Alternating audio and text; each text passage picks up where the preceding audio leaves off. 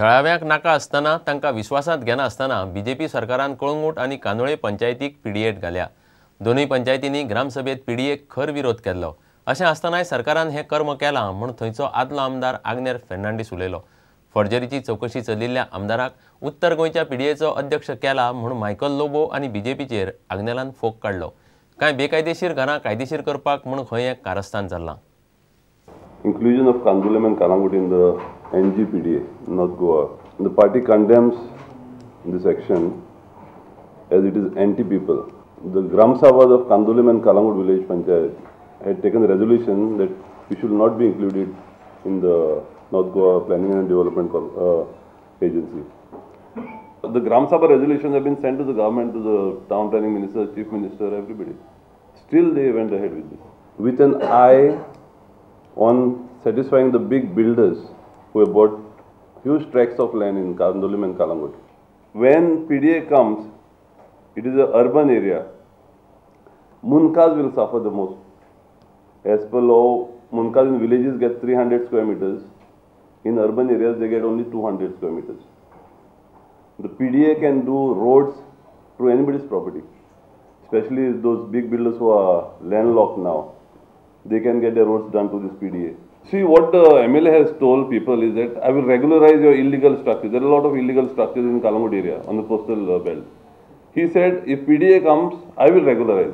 And he's fooling the people saying that Panchayat powers are, will uh, not be there. Panchayat still is a licensing authority.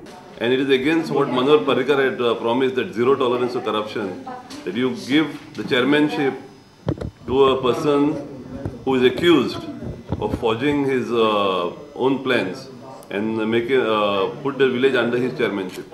So the party strongly condemns this and uh, asks the government to withdraw this notification that has put uh, Kandulam and Kalamod in this PDA. We are looking at uh, legal recourse also and we are planning agitation. Panchayats, yeah, the local people.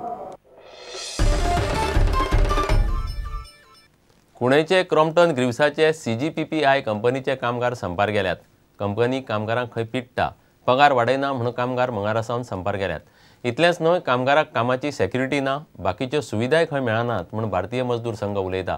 कामगारांनी अठरा फेब्रुवाराक पणजे मोर्चो हाडपाचें थारायलां. Strike करपाचें कारण इतलें की फाटलीं बारा वर्सां वर्करांचो पगार वाडलेलो ना. आमी मागण्यो करत आसा मॅनेजमेंटा कडेन पूण त्यो मागण्यो अजून पर्यंत पूर्ण जाल्ल्यो ना. वर्करांची सेफ्टी जी आसा त्या सेफ्टीचेर हे मॅनेजमेंट कांयच करपाक तयार ना.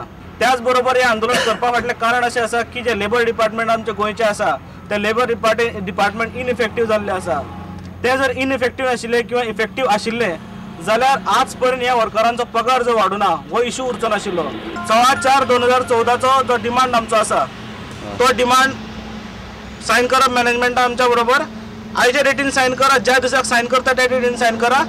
उरलेले चार डिमांड जे आसा ते कोर्ट पळोवन घेतले अशें आमचें म्हणणें आसा त्याच बरोबर आमी असो निर्णय घेतलेलो आसा भारतीय मजदूर संघ म्हणून की अशा सगळ्या फॅक्टरीनी ज्या जाग्यार मॅनेजमेंट वर्करांक त्रास करतात अशा सगळ्या डिपार्टमेंटांनी ज्या जाग्यार गव्हर्मेंट डिपार्टमेंट आसा आनी वर्करांक त्रास जाता अशा सगळ्या डिपार्टमेंटाच्या विरोधान अठरा फेब्रुवारीक पणजेन भव्य मोर्चा आमी काडटले आनी सरकाराच्या विरोधान नारेबाजी करतले.